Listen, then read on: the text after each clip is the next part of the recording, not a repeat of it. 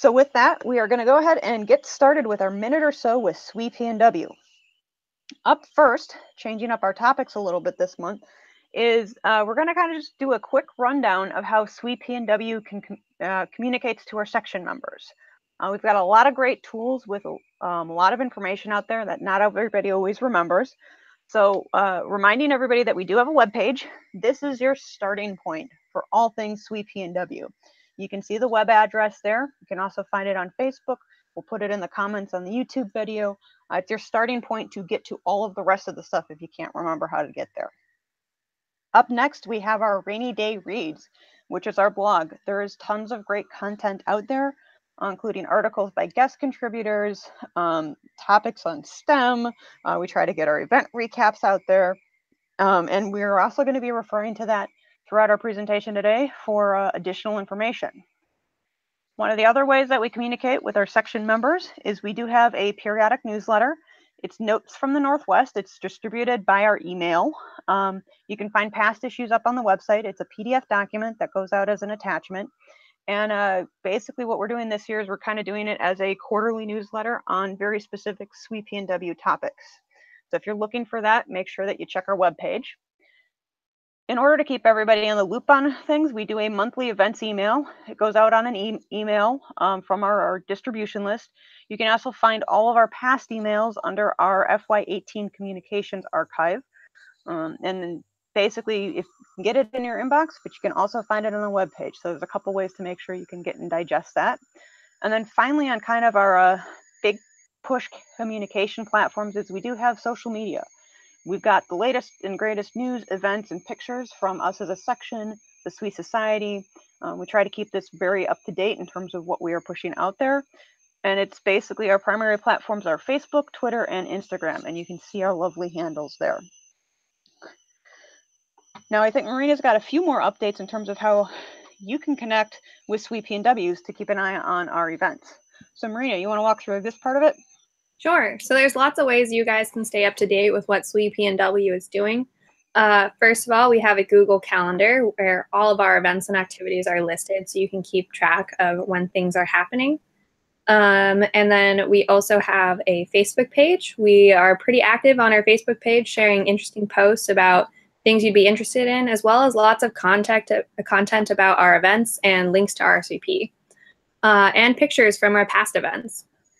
Uh, we also have an email list um, where you can stay up to date by getting our monthly email blasts or uh, events targeted to specific um, upcoming events. Uh, and you can customize your email preferences so that you only receive the content that you're actually interested in. If you want to hear about outreach or book club, you can make those settings for yourself. And then lastly, we keep all of our events tracked through Eventbrite. So if you're looking to RSVP for one of our events, Eventbrite is definitely the place to start. Um, so you can search for SWE PNW and find a list of our upcoming events there.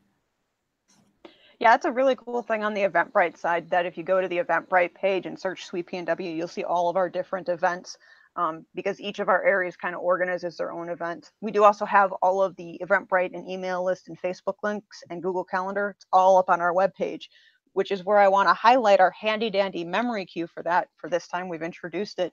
On the left-hand side on the PowerPoint, we've got a nice yellow bar, and that yellow bar indicates that there is going to be more information either out on our website or out on our blog for the topic that we're uh, discussing.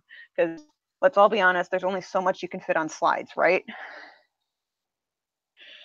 Um, so coming up next, I think that we've got a uh, a recap of, of or should sorry, look forward of what we've got going on with our events in April and a little bit of a tease into May.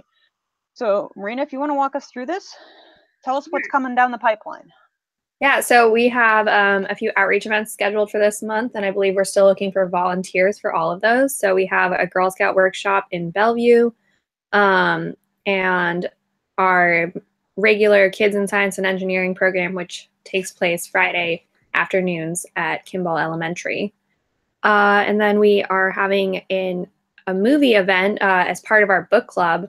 Um, last month's book was Ready Player One, and then we're following up with a SWE Goes to the Movies event to see the Ready Player One movie. Um, and then we have our executive council meeting on the 22nd, um, outreach committee meeting in uh, on April 29th. Um, so you, if you're interested in getting more involved with our outreach activities, you should definitely attend that. Uh, and then looking ahead, we have our annual banquet on May 6th, and we have a very exciting speaker lined up. So you should definitely look at purchasing tickets to our brunch banquet. Uh, and then we have a few dates listed here regarding our elections, which I'm sure we're going to talk about a little bit more later. Um, but the important dates to keep in mind are that the nomination and interest period closes on the 18th, uh, and then voting period will close on May 1st. So, so just to clarify that last one, the, the first date that Marina talked about is our section election. The May 1st is actually the society level election, and we'll talk a little bit more about that in our regular SWE PNW and our region and society level business sections. Thank you, Theresa. That's good to know. And so, speaking of that banquet, I think you mentioned that there was a really cool keynote and it's at a really cool place. Do you want to talk to us about some of those details? Sure. So, uh, like I said, it's on Sunday, May 6th. Um, it's at Ray's Boathouse Seattle, which has um, an awesome view of the water. It's located in Ballard, um, and the food there is really good, and it's and uh, it's a great chance to uh, enjoy brunch with your fellow SWE members and to celebrate all the success that we've had this year. Um, so we will present our section awards and give an overview of the highlights uh, from our year and recognize some of our volunteers. And then uh, Jill Tietjen, who is a past SWE Society president, will be our speaker. Um, so we're all really excited to hear her talk about her experiences. Um, yeah, she definitely has a lot of different experiences that she's going to share. Um, so I'm, I'm, interested to and excited to see which direction she goes with her keynote for our, our banquet. Yeah, and that event is already live to purchase tickets to, right, Theresa? Yes, it is. It is up on um, our Facebook page. Awesome. Well, I know I'm looking forward to it. So one of the things with there, you mentioned that we've got a section awards program, and I'm sure, as with anything, everybody would like to know what that is and how they can submit. Do you want to walk us through what we're what we have for this year's awards? Of course. Um, so we have our a few different awards um, that will be awarded at the banquet. So the first one is our Members Choice Award. So that's a peer nominated award that recognizes a SWE PNW member for their work with the section. Uh, so they're nominated by a current SWE PNW member, uh, and then the final selection will be made by the leadership team. We also have our Most Valuable Person MVP award, uh, and that goes to a person who made a significant impact on section leadership, development, or growth. Uh, they will be formally nominated by members of the SWE PNW leadership with suggestions from committee and section members. And then we have two Volunteer of the Year awards that go to our outreach and professional development volunteers. Uh, so the outreach one goes to a person that actively participated in um, planning outreach events sponsored by SWE. And they'll be formally nominated by the SWE PNW leadership team with, uh, but they'll take suggestions from committee and section members. And then similarly, the volunteer of the year for professional development, uh, it goes to a person that actively planned and supported um, social networking or professional development events. And they'll also be selected by the leadership team. So yeah, if you have someone in mind that you think deserves one of these awards, uh, be sure to send in your nominations by April 26th. And there's more info about that on our website if you want to know how to submit that nomination. Yeah, it's a great point there, um, Marina, that you know our forms for the submission is going to be up on there. All of these are driven by SWE PNW member um, suggestions. So we really want to get your guys' feedback as to who you think should uh, get these awards this year. Uh, and it's a really cool presentation, and they, they do get recognized up in front of uh, everybody at the banquet. So it's a really neat experience to not only get to meet them, but they get to hear about what they've done for the section um, at the banquet. So yeah, I'm really excited for the awards program this year. Um, I think one of the other things that we've got coming down the pipeline is I hear rumors that we have some SWE PNW swag in the works. We What's do. up with that? Yeah, so we're really excited to introduce new swag for SWE PNW. Um, so we are offering two different items. There's a gray cardigan um, and then a black zip up fleece. Um, so that'll definitely help you help you stay cozy during uh, the cold PNW uh, months. But uh, so all the sizing and options are listed on our blog. I definitely recommend checking out that if you're not sure which item you want to get or how it'll fit. Uh, and then to purchase one of these items, uh, go to go our Google Form survey, that's also linked on the blog, and select what you want, and then uh, submit a $30 deposit to pnw at swe.org via PayPal, um, or go to paypal.me slash sweetpnw slash 30. Um, and then Dana Day, our outreach uh, VP, will be sending invoices if you haven't paid your deposit. Uh, and then all of these surveys need to be completed pretty soon. The deadline for this is April 15th, and the deposit has to be paid by April 16th. So don't miss out on your chance to acquire some of our newest swag and complete that survey soon.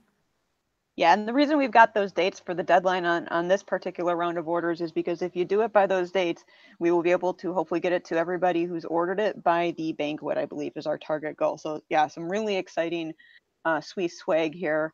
Um, so I do hope everybody checks out that Rainy Day Reads blog post on it. Um, and the sizing information there, it's very detailed. So uh, you should be able to help um, pick your size from the information there. And if you got questions, just go ahead and let us know on that. All right, so coming up to one of our last bits here in terms of our kind of SWE business side is we do have some active SWE PNW special task forces. And I'll, I'll just do a quick run through on these to give everybody an idea. We do have an ongoing section election standard operating procedures task force. The exciting thing is we'll be talking a little bit about what that has been uh, providing inputs for this year's election cycle and it will continue this task force will continue into next year so if you're interested in looking at that or helping with that that let us know um, we're also working on a section travel reimbursement policy task force. Um, part of that's being driven by the regions dissolving at the end of this year and making sure that we have funding at a section level to support uh, sending people to conferences. Um, we, as always, are continuing to work on our behind the scenes infrastructure with regards to the glory of paperwork and record keeping. It's a very exciting paperwork driven um, and digital side file driven uh, task force there just to make sure that we've got what we need to maintain um, not only our section for our events and our event planning for our members, but that we're in good standing with the society and as a nonprofit. And then finally, we've got a task force that I think is just sort of in the beginning stages of forming, which is our scholarship program and program evaluation and, improvement, looking at how we do our section level scholarships and how we can improve that to not only uh, potentially update our materials on that, but look at how we can streamline the application process. So as always, there is a ton of SWE PNW stuff going on, both on the activity side, the events um, um, and activities that you can attend. There's behind the scenes planning, and then there's behind the scenes business. Uh, so with that, we'll wrap up the minute or so with SWE PNW section.